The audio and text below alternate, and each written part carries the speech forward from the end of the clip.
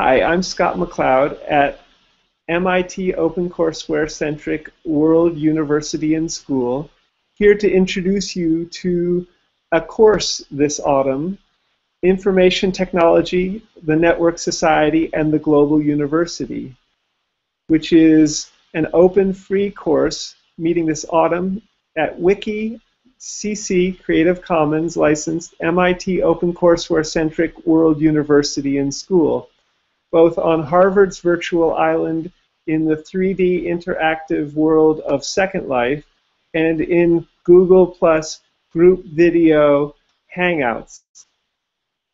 For more information about this course, see worlduniversityandschool.blogspot.com.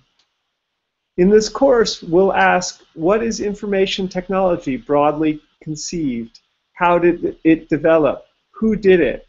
And what has been in the process of diffusion into the economy and society?